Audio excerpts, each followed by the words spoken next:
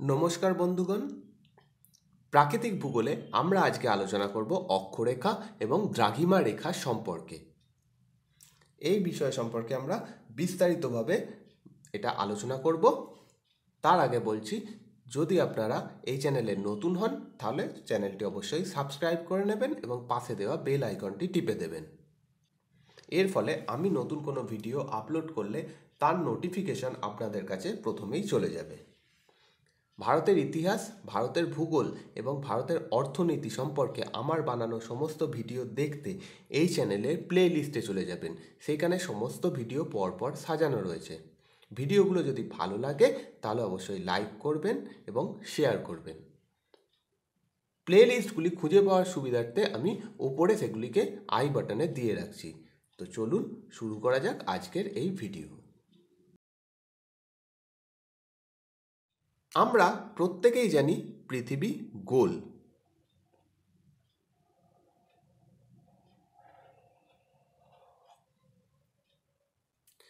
এই গোল পৃথিবীর একদম উত্তরে একটা বিন্দু রয়েছে।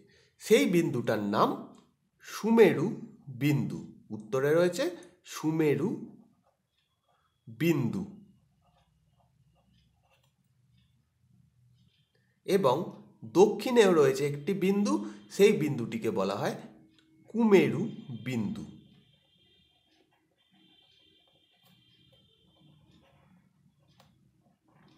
তাহলে উত্তরে রয়েছে সুমেরু বিন্দু এবং দক্ষিণে রয়েছে কুমেরু বিন্দু। সুমেরু বিন্দু এবং কুমেরু বিন্দু থেকে একদম সমান দূরে, মাঝখানে যদি আমরা একটা রেখা টানি সেই রেখাটাকে বলা হয় নিরক্ষরেখা একদম মাঝখানে যদি আমরা একটা রেখা টানি, সেটা হচ্ছে নিরক্ষ রেখা। তাহলে নিরক্ষরেখা পৃথিবীকে সমান দুভাগে ভাগ করছে। উত্তর অংশটাকে বলা হয় উত্তর গোলার্ধ এবং দক্ষিণ অংশটাকে বলা হচ্ছে দক্ষিণ গোলার্ধ। এটা হচ্ছে মাঝখানে নিরক্ষরেখা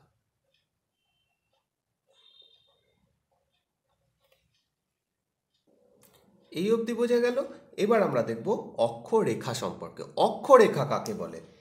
তাহলে অক্ষরেখা কাকে বলে? নিরক্ষরেখার উত্তরে এবং নিরক্ষরেখার দক্ষিণে। নিরক্ষরেখার উত্তরে এবং নিরক্ষরেখার দক্ষিণে।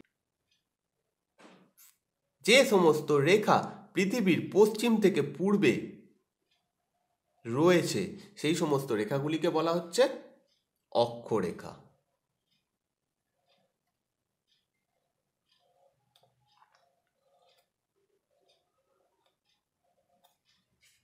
তাহলে নিরক্ষরেখার উত্তরে এবং দক্ষিণে যে সমস্ত কাল্পনিক রেখা পৃথিবীর পশ্চিম হতে পূর্ব দিকে টানা হয়েছে, সেই সমস্ত রেখাকে বলা হচ্ছে অক্ষরেখা। এই অক্ষরেখাগুলির কিছু বৈশিষ্ট্য রয়েছে। এগুলি, এই রেখাগুলি পৃথিবীকে পশ্চিম থেকে পূর্ব দিকে বেষ্টন করে রয়েছে। পশ্চিম থেকে পূর্ব দিকে বা পূর্ব থেকে পশ্চিম দিকে যেভাবেই বলা হোক না কেন, এটা পৃথিবীকে বেষ্টন করে রয়েছে। তাহলে প্রথম পয়েন্ট পেলাম আমরা, এটা পশ্চিম থেকে পূর্বে পৃথিবীকে বেষ্টন করে রয়েছে। দ্বিতীয়, এটা মানে এই রেখাগুলো সবকটাই পূর্ণ বৃত্ত পূর্ণ বৃত্ত।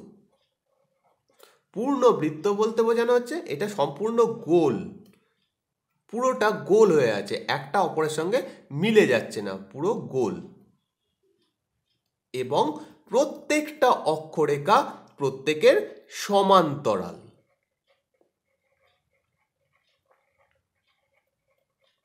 দুটো সমান্তরাল রেখা এরকম, যেটার দুটোর কোনো মিল নেই। সমানভাবে টেনে দিলে সমানভাবে এগোতে থাকবে। এই দুটো কোনো দিনই মিলবে না। অক্ষরেখাও দুটো কোনো দিনই মিলবে না। অতএব এইটা দুটো অক্ষরেখা সমান্তরাল অক্ষরেখাগুলির মধ্যে নিরক্ষরেখা সব থেকে লম্বা। অক্ষরেখাগুলির মধ্যে সবথেকে বড় হচ্ছে নিরক্ষরেখা। এই জন্য নিরক্ষরেখাকে বলা হয় মহাবৃত্ত। তাহলে মহাবৃত্ত বলা হয় নিরক্ষরেখাকে। একটা অক্ষরেখা থেকে আর একটা অক্ষরেখার মধ্যে দূরত্ব সমান হবে। অর্থাৎ যেখানেই যাওয়া হোক না কেন, এই দুটোর মধ্যে দূরত্ব সব সময় সমান হবে। যেখানেই যাওয়া হোক না কেন, পৃথিবীর যেখানেই যাওয়া হোক, দুটো অক্ষরেখার মধ্যে দূরত্ব সমান হবে। কারণ অক্ষরেখা দুটো সমান্তরালভাবে অবস্থান করছে। সমান্তরাল যেখানে যে দুটি রেখা সমান্তরাল হবে, তার মধ্যে দূরত্ব সবসময় সমান হবে। পরের পয়েন্ট সমস্ত অক্ষরেখার পরিধি কিন্তু সমান নয়। সমস্ত অক্ষরেখার পরিধি সমান নয়। নিরক্ষরেখার পরিধি সব থেকে বেশি সব থেকে বড়।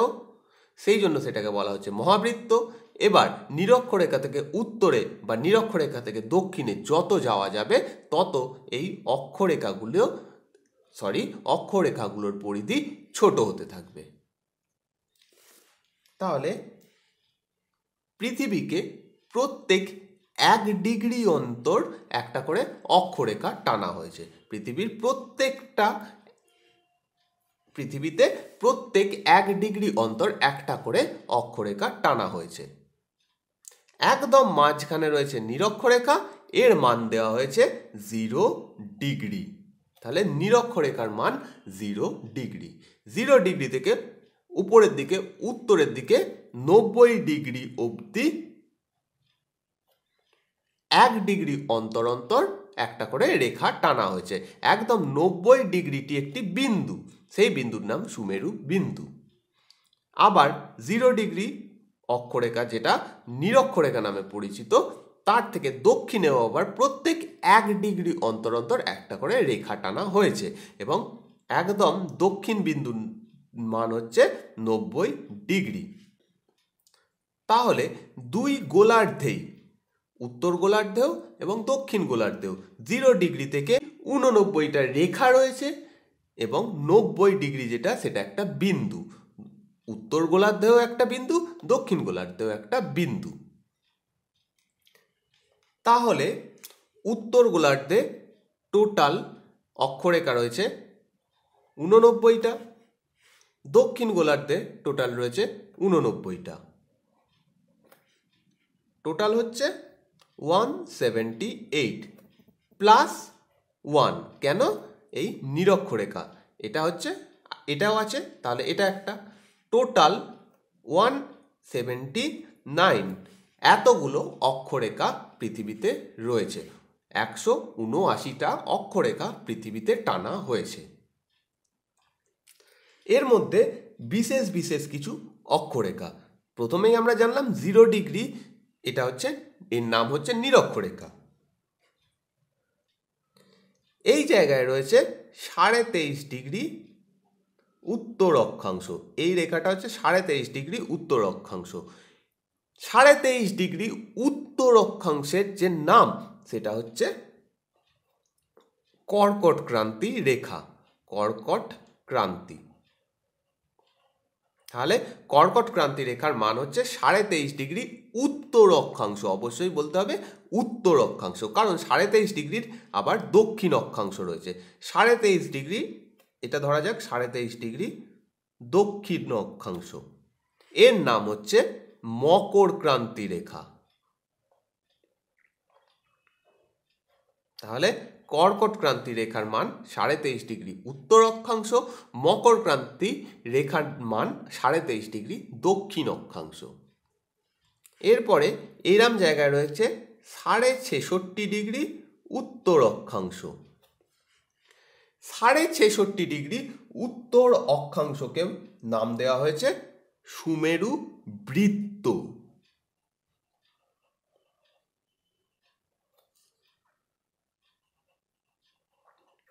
তাহলে সুমেরু বৃত্ত, এর মান হচ্ছে সাড়ে ছেষট্টি ডিগ্রি উত্তর অক্ষাংশ। আবার এরকমভাবে সাড়ে ছেষট্টি ডিগ্রি দক্ষিণ অক্ষাংশ থাকবে। সাড়ে ছেষট্টি ডিগ্রি দক্ষিণ অক্ষাংশের নাম দেওয়া হয়েছে কুমেরু বৃত্ত। কুমেরু বৃত্ত। এই কয়েকটার মান না সরি এই কয়েকটার নাম এবং তার কত মান, এই দুটো মনে রাখা খুব গুরুত্বপূর্ণ। সুমেরু প্রথমে একদম ওপরের বিন্দুটার নাম হচ্ছে সুমেরু বিন্দু, নব্বই ডিগ্রি উত্তর বিন্দু, এটা হচ্ছে সুমেরু বিন্দু। তারপরে আসছে সুমেরু বৃত্ত, সাড়ে ছেষট্টি ডিগ্রি উত্তর অক্ষাংশ। তারপর হচ্ছে কর্কটক্রান্তি রেখা, যার মান সাড়ে তেইশ ডিগ্রি উত্তর অক্ষাংশ। তারপরে আছে নিরক্ষরেখা জিরো ডিগ্রি। এটার কোনো উত্তর বা দক্ষিণ নয়, একটাই রেখা। নিরক্ষরেখা, তারপরে মকরক্রান্তি রেখা, যার মান সাড়ে তেইশ ডিগ্রি দক্ষিণ অক্ষাংশ, তারপরে কুমেরু বৃত্ত, সাড়ে ছেষট্টি ডিগ্রি দক্ষিণ অক্ষাংশ এবং শেষ হচ্ছে কুমেরু বিন্দু, সেটা হচ্ছে নব্বই ডিগ্রি দক্ষিণ বিন্দু। এরপর আমরা দেখব দ্রাঘিমা রেখা।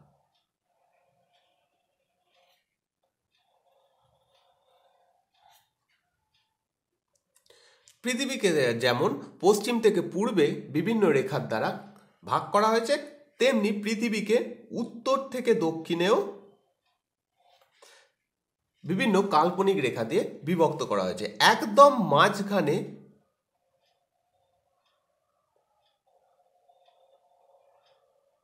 রয়েছে জিরো ডিগ্রি দ্রাঘিমা। যেরকম করে নিরক্ষরেখা রয়েছে, জিরো ডিগ্রি তেমনি করে উত্তর দক্ষিণেও এরকম একটি জিরো ডিগ্রি টানা হয়েছে। যার নাম মূল মধ্য রেখা মূল মধ্য রেখা মূল মধ্য রেখাকে মাঝখানে টেনেও পৃথিবীকে দুভাগে ভাগ করা হয়েছে। যেমন করে নিরক্ষরেখার উত্তরে ছিল উত্তর গোলার্ধ এবং দক্ষিণে ছিল দক্ষিণ গোলার্ধ। এবার হচ্ছে দ্রাঘিমা রেখা। মূল মধ্যরেখার পশ্চিমে এবং মূল মধ্যরেখার পূর্বে। পৃথিবীতে উত্তর থেকে দক্ষিণে কিছু কাল্পনিক রেখা টানা হয়েছে।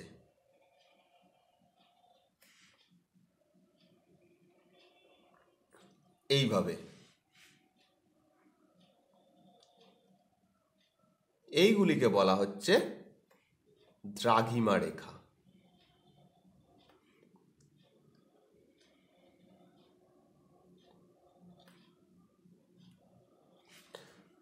ছবিতে দেখলেই আমরা এর কিছু বৈশিষ্ট্য দেখতে পাচ্ছি।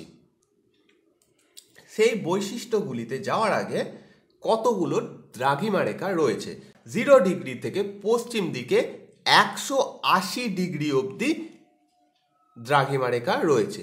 আবার জিরো ডিগ্রি থেকে পূর্ব দিকেও একশো আশি ডিগ্রি অবধি দ্রাঘিমা রেখা রয়েছে।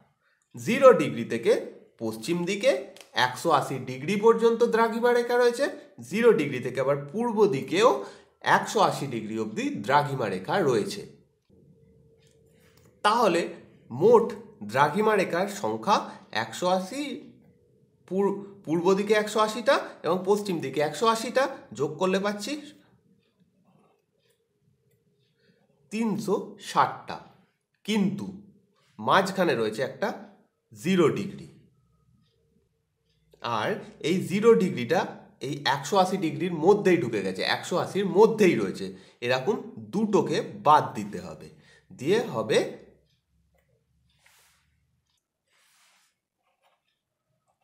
তিনশো আটান্নটা। তাহলে দ্রাঘিমা রেখার সংখ্যা তিনশো আটান্নটা। এবার প্রশ্ন, তাহলে দুটো কেন বাদ দিতে হলো? তাহলে পৃথিবীর চিত্রটাকে যদি আমরা এইভাবে আঁকি, এতে বোঝা যাবে। দ্রাঘিমা রেখাগুলো সব অর্ধবৃত্ত। যদি এটা পৃথিবীর সেন্টার ধরা হয় মানে সেন্টার বলতে এই অংশটা, এই বিন্দুটাকে যদি এইটা ধরা হয়, তাহলে এইটা জিরো ডিগ্রি তারপর থেকে রেখাগুলো এইভাবে যাচ্ছে। এরকমভাবে যেটা জিরো ডিগ্রি এটা একটু বাড়িয়ে আঁকলাম। এই জিরো ডিগ্রিটা এদিকেও রয়েছে। যেহেতু দ্রাঘিমা রেখাগুলো এইরমভাবে এসছে, অর্থাৎ সমান্তরাল নয়, এক জায়গায় গিয়ে মিলিত হয়েছে। উল্টো দিকেও একটা জিরো ডিগ্রির রেখা থাকবে। এদিকেরটার জন্য এক, এদিকেরটার জন্য এক, এই দুটো বাদ দেওয়া হলো। তাহলে তিনশো আটান্নখানা দ্রাঘিমা রেখা রয়েছে। এবার দ্রাঘিমা রেখার কিছু বৈশিষ্ট্য। প্রথম বৈশিষ্ট্য দ্রাঘিমা রেখাগুলো অর্ধবৃত্ত।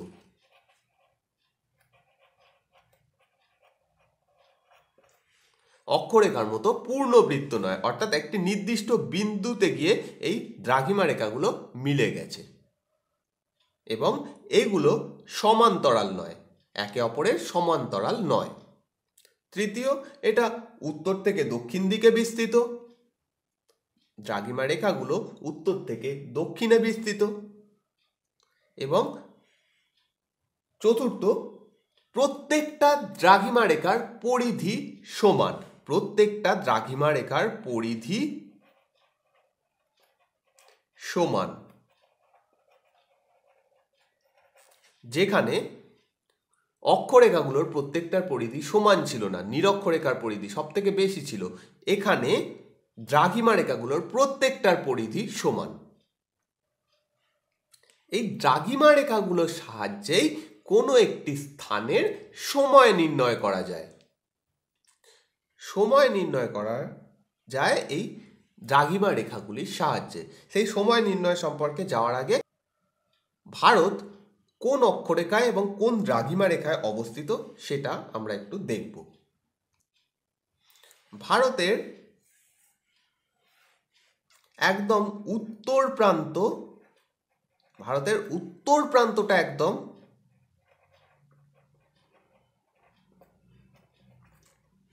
সাঁত্রিশ ডিগ্রি ছ মিনিট উত্তর অক্ষাংশে অবস্থিত। এখানে একটা ভারতের ম্যাপ এঁকেছি, তবে সেই ম্যাপটা খুবই বাজে হয়েছে কারণ তাড়াহুড়ো করে আঁকলাম। ভারতের এই উত্তর অক্ষাং সরি উত্তর অংশটা একটা অক্ষরেখাকে টাচ করেছে।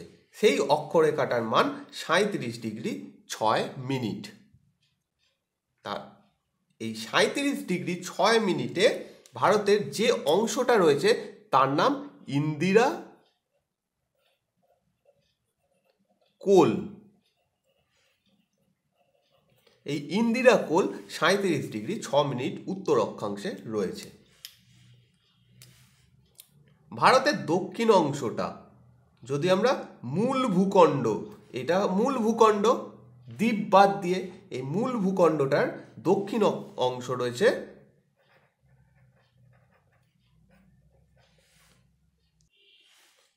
আট ডিগ্রি চার মিনিট উত্তর অক্ষাংশে। এই যে অক্ষরেখাটা গেছে এখান দিয়ে, সেই অক্ষরেখাটার মান আট ডিগ্রি চার মিনিট উত্তর অক্ষাংশ। এই জায়গায় রয়েছে কন্যাকুমারী।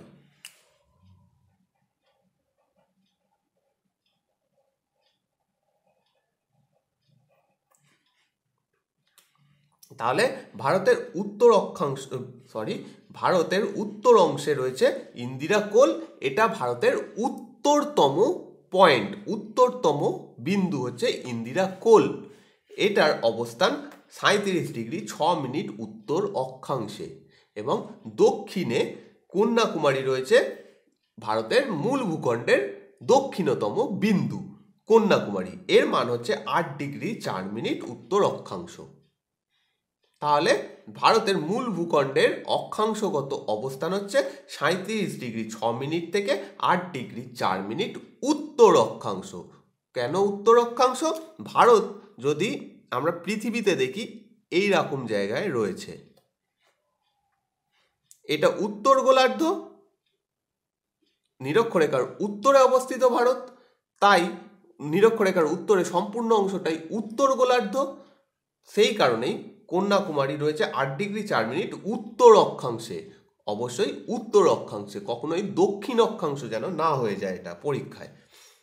উত্তর প্রান্ত সাঁত্রিশ ডিগ্রি ছ মিনিট উত্তর অক্ষাংশ, দক্ষিণ অংশ হচ্ছে আট ডিগ্রি চার মিনিট উত্তর অক্ষাংশ। এটা গেল মূল ভূখণ্ডের।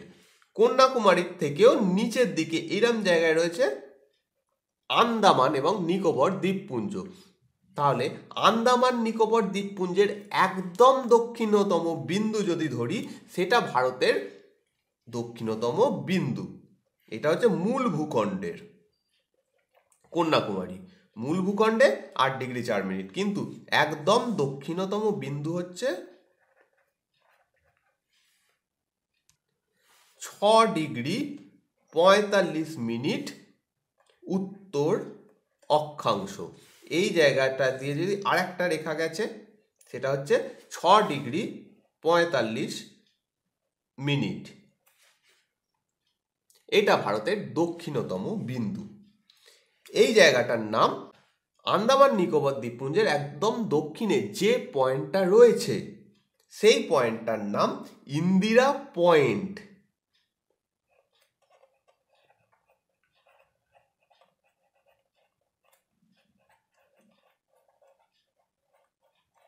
এই ইন্দিরা পয়েন্ট হচ্ছে ভারতের দক্ষিণতম বিন্দু। এর মান কত? ছ ডিগ্রি পঁয়তাল্লিশ মিনিট উত্তর অক্ষাংশ।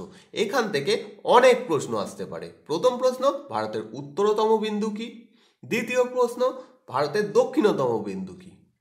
তৃতীয় প্রশ্ন, ভারতের মূল ভূখণ্ডের দক্ষিণতম বিন্দু কি? চতুর্থ, ভারতের অক্ষাংশগত অবস্থান কি? মূল ভূখণ্ডের অক্ষাংশগত অবস্থান কি? মূল ভূখণ্ডের বললে এইটা হবে সাঁত্রিশ ডিগ্রি ছ মিনিট থেকে আট ডিগ্রি চার মিনিট উত্তর অক্ষাংশ। ভারতের অক্ষাংশগত অবস্থান কি? মূল ভূখণ্ডের নয়, ভারতের অক্ষাংশগত অবস্থান কি? তাহলে বলতে হবে সাঁত্রিশ ডিগ্রি ছ মিনিট উত্তর অক্ষাংশ থেকে ছ ডিগ্রি পঁয়তাল্লিশ মিনিট উত্তর অক্ষাংশ। এতগুলো প্রশ্ন এখান থেকে আসে। এবার দ্রাঘিমা, এটা গেল অক্ষাংশের কথা। দ্রাঘিমায় এইখান দিয়ে গেছে একটা দ্রাঘিমা রেখা সেটা ভারতের পূর্বতম বিন্দু, এই জায়গায় অবস্থিত, সেটাকে টাচ করছে। সেটার মান হচ্ছে সাতানব্বই ডিগ্রি পঁচিশ মিনিট পূর্ব দ্রাঘিমা। সাতা, সাতানব্বই ডিগ্রি পঁচিশ মিনিট পূর্ব দ্রাঘিমা। ভারতের পূর্বতম বিন্দু। এই বিন্দুতে অবস্থিত অরুণাচল প্রদেশের কিবুথু।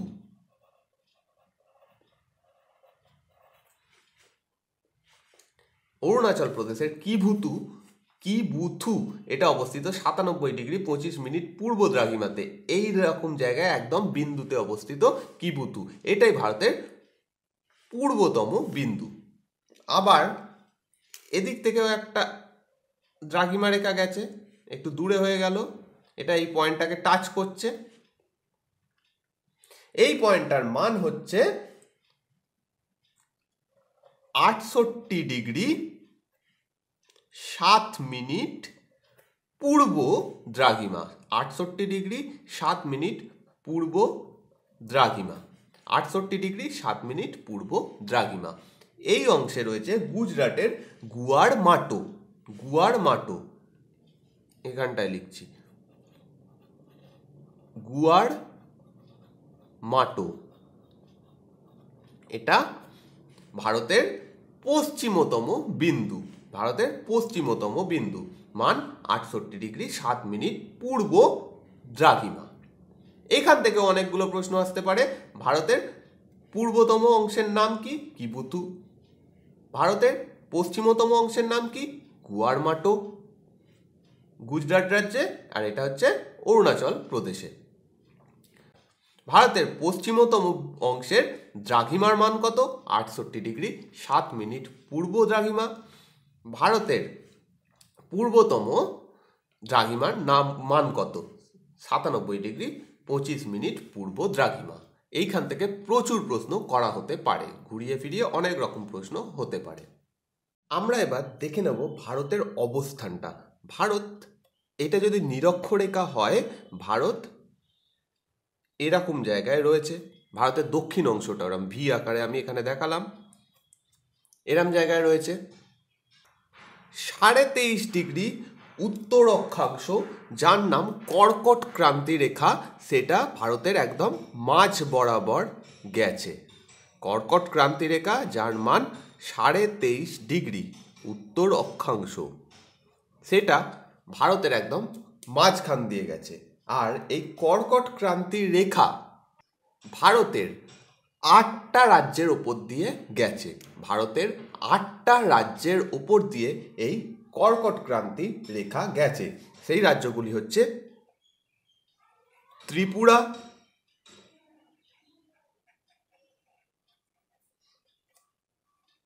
মিজোরাম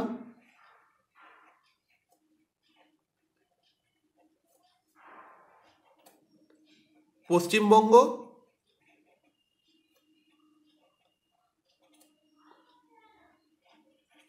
ঝাড়খণ্ড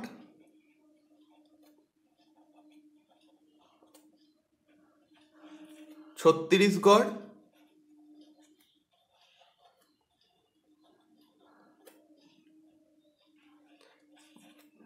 মধ্যপ্রদেশ।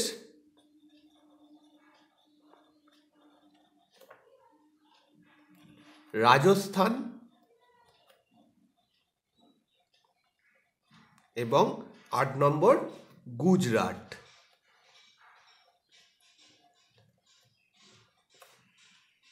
ত্রিপুরা, মিজোরাম, পশ্চিমবঙ্গ, ঝাড়খণ্ড, ছত্তিশগড়, মধ্যপ্রদেশ, রাজস্থান, গুজরাট এই আটটি রাজ্যের ওপর দিয়ে এই কর্কট ক্রান্তির রেখা গেছে, যার মান সাড়ে তেইশ ডিগ্রি উত্তর অক্ষাংশ। এরমভাবে ভারতের ওপর দিয়ে নিশ্চয়ই একটি দ্রাঘিমা রেখাও যাবে। ভারতের ওপর দিয়ে যে দ্রাঘিমা রেখাটা গেছে, তার মান সাড়ে বিরাশি ডিগ্রি পূর্ব। সাড়ে বিরাশি ডিগ্রি পূর্ব। আর এই সাড়ে বিরাশি ডিগ্রি পূর্ব যে দ্রাঘিমার রেখাটি, এটা ভারতের পাঁচটা জায়গার ওপর দিয়ে গেছে, পাঁচটা রাজ্যের ওপর দিয়ে গেছে। প্রথমটা উত্তরপ্রদেশ, দুই মধ্যপ্রদেশ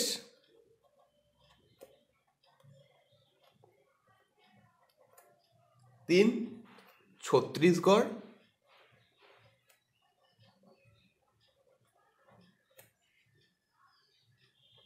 চার ওড়িশা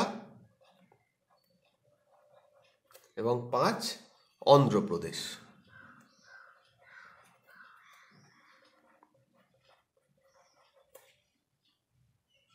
তাহলে অক্ষরেখা যদি বিচার করি, সাড়ে তেইশ ডিগ্রি উত্তর অক্ষাংশ ভারতের মাঝখান দিয়ে গেছে এবং দ্রাঘিমা রেখার কথা যদি আমরা দেখি, তাহলে সাড়ে বিরাশি ডিগ্রি পূর্ব দ্রাঘিমা ভারতের মাঝখান দিয়ে গেছে।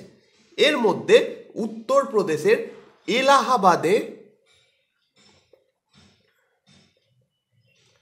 ওপর দিয়ে এই সাড়ে বিরাশি ডিগ্রি পূর্ব দ্রাঘিমা গেছে একদম এলাহাবাদের ওপর দিয়ে। তাই এলাহাবাদের টাইমকে, এলাহাবাদের সময়কে ভারতের প্রমাণ সময় ধরা হয়। ভারতের প্রমাণ সময় হচ্ছে এলাহাবাদের টাইমকে ধরা হয়।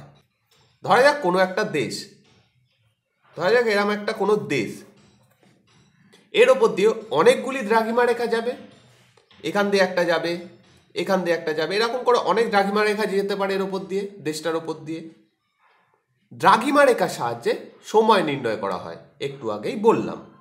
সো সেই দ্রাঘিমা রেখার সাহায্যে সময় যখন নির্ণয় করা হবে, এই দ্রাঘিমা রেখাতে একটা টাইম হবে, এই দ্রাঘিমা রেখাতে আর একটা টাইম হবে, এই দ্রাঘিমা রেখাতে আর একটা টাইম হবে। তাহলে আমরা কি কোনো দেশের বিভিন্ন জায়গায় বিভিন্ন টাইম দেখি? আমাদের দেশের কথা যদি বিচার করি, কখনো দেখি যে গুজরাটে একটা টাইম এদিকে অরুণাচল প্রদেশে একটা টাইম আমাদের পশ্চিমবঙ্গে একটা টাইম এরাম হয় না। আমাদের দেশে মানে প্রত্যেকটা দেশে যা হয় কি, একটা মাঝখান দিয়ে যে রেখাটা যায়, সেইটার যে টাইমটা হয়, সেটাকেই সারা দেশের টাইম ধরে নেওয়া হয়। প্রত্যেকটা দেশের মাঝখান দিয়ে একটা দ্রাঘিমা রেখা যাবে, সেই দ্রাঘিমা রেখার সময়কেই ভারতের প্রমাণ সময় ধরে নেওয়া হয়। আমাদের দেশে বিরাশি অ্যান্ড হাফ ডিগ্রি পূর্ব দ্রাঘিমা উত্তরপ্রদেশের একদম এলাহাবাদের কাছ দিয়ে যাচ্ছে। এটাই একদম মাঝখানে পড়ছে। তাই এলাহাবাদের টাইমকেই প্রমাণ টাইম ধরা হয় এবং এই এলাহাবাদের টাইমকেই সব জায়গায় ভারতের সমস্ত অঞ্চলে সময় ধরা হয়। এবার এই দ্রাঘিমা রেখার সাহায্যে সময় নির্ণয়।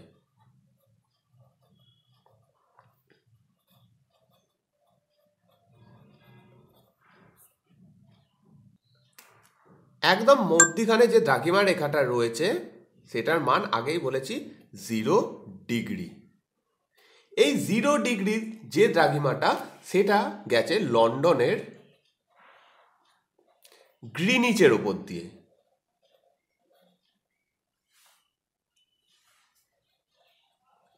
লন্ডন শহরের গ্রিনিচ বলে একটা জায়গা রয়েছে, সেই গ্রিনিচের ওপর দিয়ে এই জিরো ডিগ্রি দ্রাঘিমা রেখাটি গেছে। লন্ডনের গ্রিনিচ শহরের ওপর দিয়ে যেহেতু জিরো ডিগ্রি এই দ্রাঘিমা রেখাটা গেছে, একদম মাঝখানে পড়ছে যেহেতু, এই গ্রিনিচ শহরের সময়কেই মূল সময় বা প্রমাণ সময় ধরে বাকি সমস্ত দেশের, পৃথিবীতে যে সমস্ত দেশ আছে, সমস্ত দেশের সময় নির্ণয় করা হয়। গ্রিনিচের যে সময়টা, এটাকে বলা হয় জি এম টি বা Greenwich mean time. Greenwich mean time. এবার যদি গ্রিনিচ যদি এরাম জায়গায় থাকে, এটা একদম মাঝখান। এর বাম দিকে রয়েছে পশ্চিম গোলার্ধ। যদি ম্যাপটাকে আমরা এরম ফ্ল্যাট বোর্ডের মতো ধরে নিই, গ্লোবটাকে যদি আমরা এরম সোজা করে বোর্ডের মতো ধরে নিই, তাহলে এইটা একদম মাঝখানে পড়বে, এখানে রয়েছে গ্রিনিচ। এর বাঁ দিকে রয়েছে পশ্চিম গোলার্ধ। অর্থাৎ পশ্চিম গোলার্ধের যে সমস্ত দেশগুলো রয়েছে সব এই বাঁ দিকে রয়েছে এবং ডান দিকে এদিকে রয়েছে পূর্ব গোলার্ধের দেশগুলো।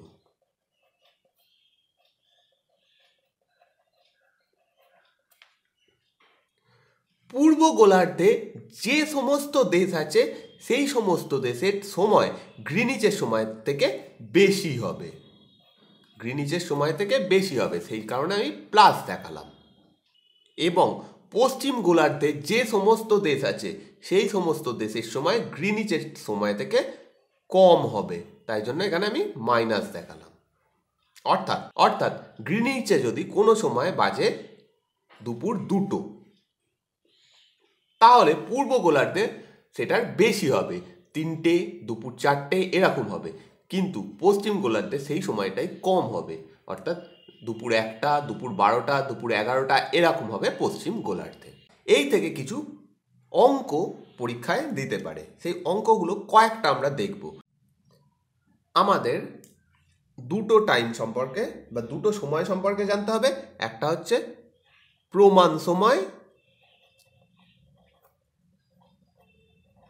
এবং দ্বিতীয়টি হচ্ছে স্থানীয় সময়।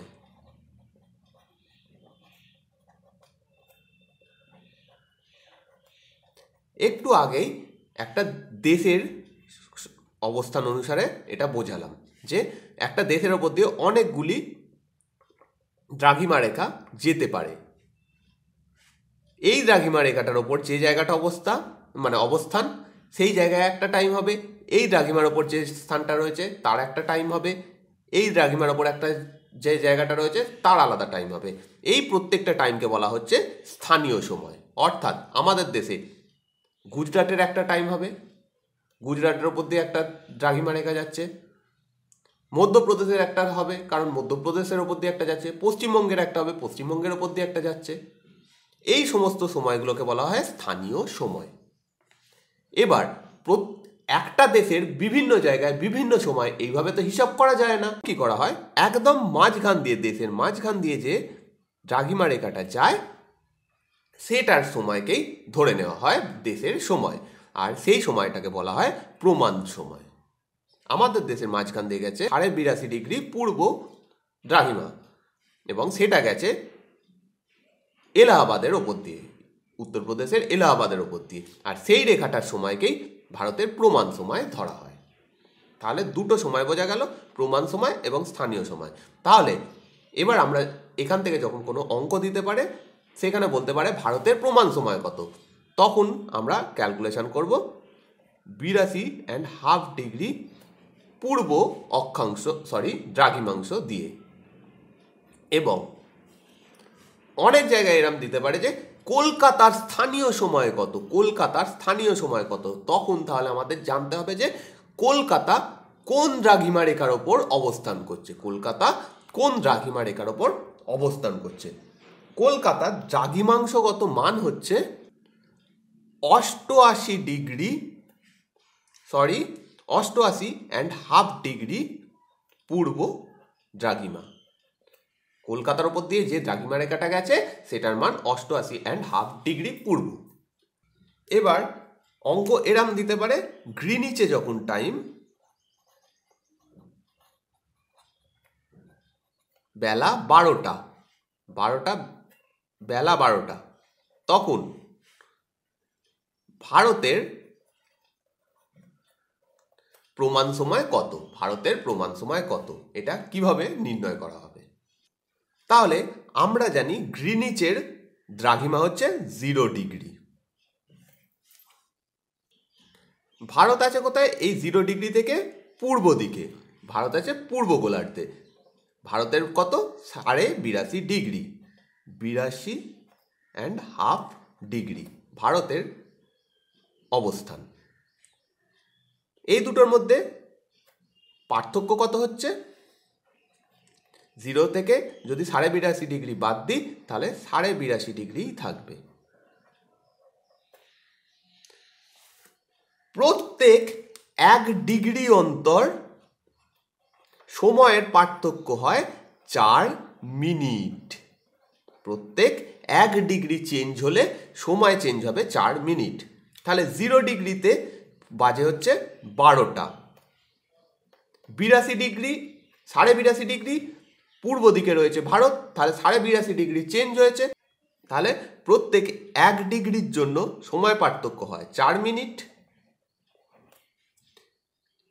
বিরাশি ডিগ্রির জন্য সময় পার্থক্য হবে বিরাশি ইন্টু চার সমান সমান তিনশো আঠাশ মিনিট। তিনশো আঠাশ মিনিটকে যদি আমরা ঘন্টায় নিয়ে যাই, আমরা পাবো পাঁচ ঘণ্টা আঠাশ মিনিট। এবার এই হাফ ডিগ্রি এখনও রয়েছে, বিরাশি ডিগ্রি অবধি আমরা ক্যালকুলেশান করলাম। প্রত্যেক এক ডিগ্রির জন্য চার মিনিট সময় পার্থক্য হয়। আর এক মিনিট দ্রাঘিমার জন্য সময় পার্থক্য হয় চার সেকেন্ড। এক ডিগ্রির জন্য সময় পার্থক্য হয় চার মিনিট, এক মিনিট, এটা হচ্ছে মিনিটের চিহ্ন। এক মিনিট দ্রাঘিমা পরিবর্তনের জন্য সময়ের পরিবর্তন হয় চার সেকেন্ড। এই হাফ ডিগ্রি মানে এই যে হাফ ডিগ্রিটা পড়ে থাকল, এই হাফ ডিগ্রি মানে তিরিশ মিনিট।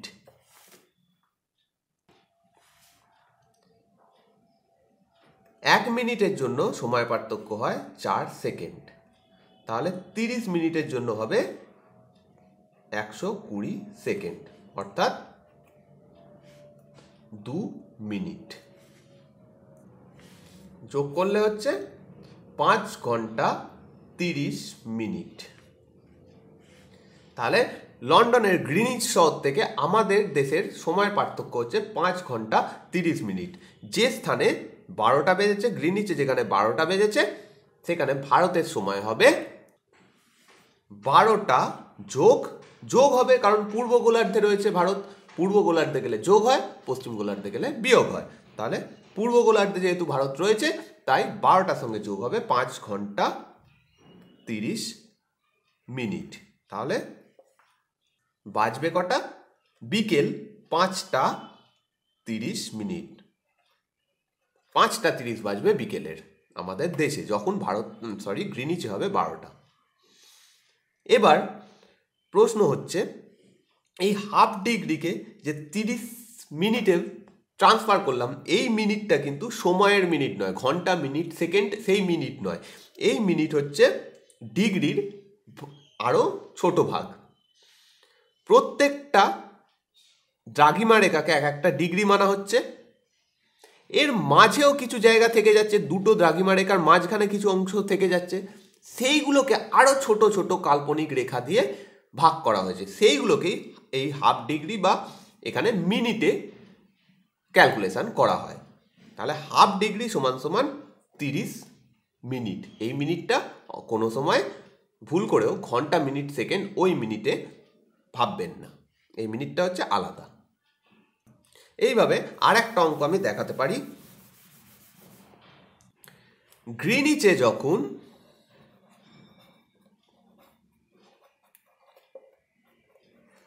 দুপুর বারোটা, তখন কলকাতার স্থানীয় সময় কত? এখানে আর প্রমাণ সময় ধরা হবে না, কলকাতার স্থানীয় সময়, কারণ কলকাতা ভারতের মধ্যে একটা জায়গা, কলকাতার স্থানীয় সময় কত? তাহলে আমরা জানি কলকাতার দ্রাঘিমাগত মান হচ্ছে অষ্টআশি অ্যান্ড হাফ ডিগ্রি। এটাকে আবার লেখা যায় অষ্টআশি ডিগ্রি তিরিশ মিনিট। অষ্টআশি ডিগ্রি তিরিশ মিনিট। একটু আগেই যেটা বললাম। এবার গ্রিনিচে হচ্ছে জিরো ডিগ্রি। সেখান থেকে অষ্টআশি ডিগ্রি তিরিশ মিনিট। এর মান হচ্ছে মানে এর পার্থক্য হচ্ছে অষ্টআশি ডিগ্রি তিরিশ মিনিট। এক ডিগ্রিতে সময় পার্থক্য হয় চার মিনিট। অষ্টআশি ডিগ্রিতে সময় পার্থক্য হবে অষ্টআশি ইন্টু চার মিনিট ইজিক্যাল টু তিনশো বাহান্ন মিনিট। তিনশো বাহান্ন মিনিটকে আমরা ঘন্টাতে নিয়ে যেতে পারি, তাহলে হবে হচ্ছে পাঁচ ঘণ্টা বাহান্ন মিনিট। পড়ে থাকল কত? এই তিরিশ মিনিট। এক মিনিটে সময় পার্থক্য হয় চার সেকেন্ড। তাহলে তিরিশ মিনিটে সময় পার্থক্য হবে চার ইন্টু তিরিশ সেকেন্ড। ইজিক্যাল টু একশো কুড়ি সেকেন্ড। মানে হচ্ছে দু মিনিট। যোগ করলে হচ্ছে পাঁচ ঘণ্টা চুয়ান্ন মিনিট। তাহলে যেখানে গ্রিনিচে বাজে বারোটা, বেলা বারোটা, তখন কলকাতায় বাজবে বিকেল পাঁচটা পঁয়তাল্লিশ। বিকেল পাঁচটা পঁয়তাল্লিশ কলকাতায় বাজবে। এই ছিল আজকের বিষয় সম্পর্কে আলোচনা। যদি কোনো বিষয় সম্পর্কে আপনাদের বুঝতে অসুবিধা হয়, তাহলে অবশ্যই আমাকে কমেন্ট করে বা ফেসবুক পেজে গিয়ে জানাবেন। এই ভিডিওটা এই অবধি। ভিডিওটা দেখার জন্য ধন্যবাদ।